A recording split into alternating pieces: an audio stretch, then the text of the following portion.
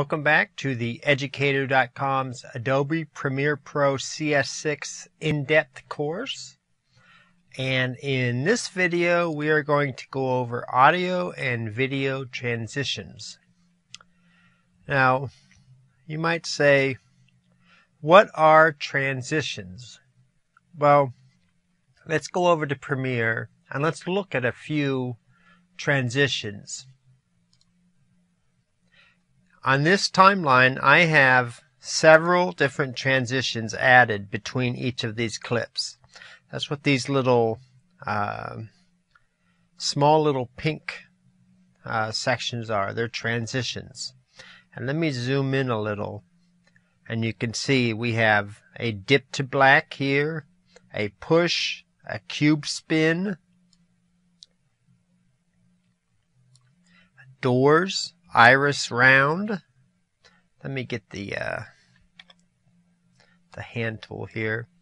The barn doors, the wipe, the zoom, the cross dissolve, the dip to white, the stretch, the roll away, and finally the dip to black. Now a transition is basically going from one clip to another and it's any type of uh, transition that you use, it will be to change from one clip to another. So let's go ahead and uh, watch some of these transitions. And you notice that the dip to black is a transition because it's going from black to our video. So that is also a transition. But let's just let's just watch this real quick and we'll look at the first few and you'll see what transitions are up here. The dip to black, the push where it pushes it over, the cube roll where it, you can see it's a little bit different, the barn doors there, the iris there, and there's another barn door. Um, I believe this one is a door swing or something like that.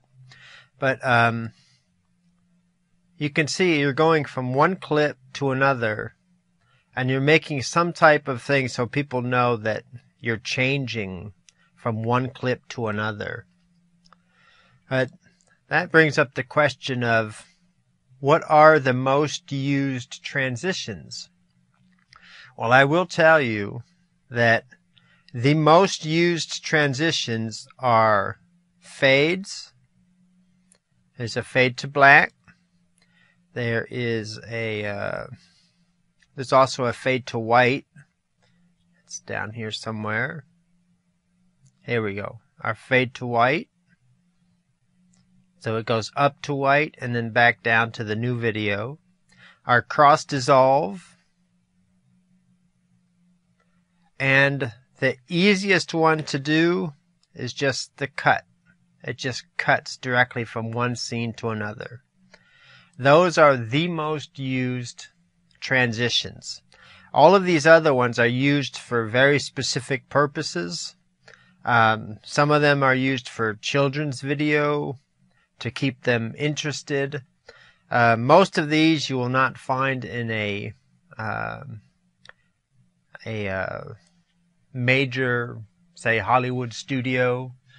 Um, using a lot of transitions is like really it's it's the mark of an amateur. Uh, one that we do see is the iris and the um, the wipe. And the wipe is if you watch the original Star Wars movies, you'll see he used a very slow wipe to go across the the screen to indicate that he was going to another time and another place somewhere else in the galaxy and the iris is used a lot.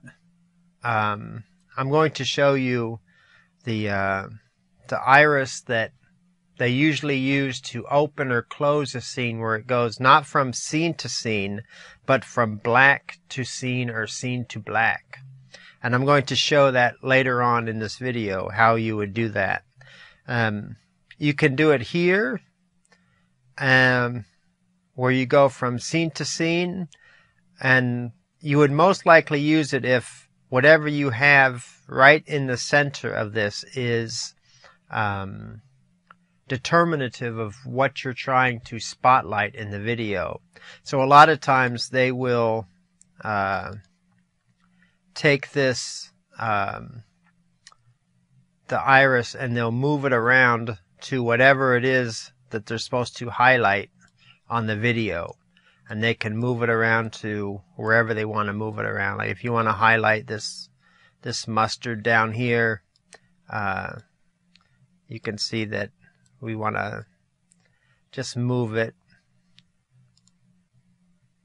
to where the um, we want to show the actual sources. And we want to move it to where the um, um, where you want to highlight. So if you want to highlight um, where she's putting the um, the milk in there, you can see that it's highlighting just what you want to highlight. And that's something that that it's one of the transitions, but um, you you only on most video you'll see the dissolve, the cross dissolve, uh, the dip to black, the dip to white, and just the straight cut, just a straight uh, jump cut. Um, anything more than that, you have to have a very special case that you want to use it for. Now, the places that you will see uh, specific ones of these um, uh, transitions, the dip to black, you'll usually see it at the beginning or the ending of a scene. Um, it gradually brings the viewer into or out of the scene. Uh, the cross dissolve, you'll usually see it on a um, like a a video that you're ending one scene in one location, but you want to let people know that the next scene is in another location at about the same time. You would use the cross dissolve. It would switch over. Or if you're ending one scene in one location and you wanted to show that you were going to the same location later on in the day or the next day, you would use the cross dissolve. And the dip to black to show um, a change in scene at the end of a scene or the beginning of a scene. You can use it to where it dips to black and then uh, comes up from black if you wanted to show a change from um, one scene and you're going to a different location at a different time, you would fade to black and then you would fade in and at the other time and location. So the cross dissolve is for same location, different time, or same time, different location. And then the fade to black or the fade to white. Um, the fade to white is usually used for, say, going from um, one scene to a dream sequence and then back out of the dream sequence. Uh, there's uh, that's where it's mostly used nowadays. And the jump cut is mostly used just in a scene um, between uh, two points in a scene, and you're not changing location or time. You're just cutting back and forth between, say, two people speaking to each other. So, um, those are the most used uh, transitions. Um, you can use these other ones if you have a very specific reason, like George Lucas wanted to have a very slow wipe to show that um, instead of fading to black and then fading out, he wanted to just have it as if you're transversing across space during this wipe. So he would have a very long wipe that would last about, I think it was like four or five seconds. Um, transitions default in Premiere to uh, one second. Uh, let me see whether the video transition defaults 30 frames. So since I'm working on uh, If I was working on NTSC video, I would keep it at 30 frames. If I'm working on PAL video, I would change it to 25.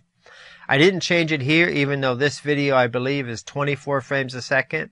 So this would be just about one and a sixth seconds because it's um, 30 frames. This goes by frames.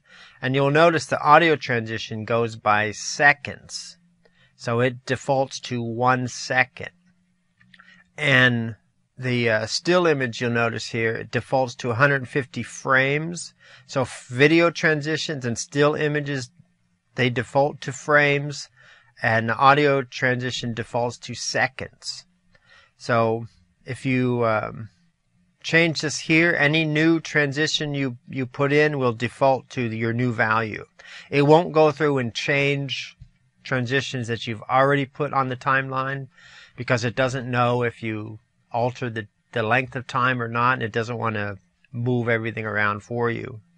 But it will, if you change one of these, from then on, anything that you uh, import in the in the case of images or place in the case of transitions will default to whatever you change this to. Uh,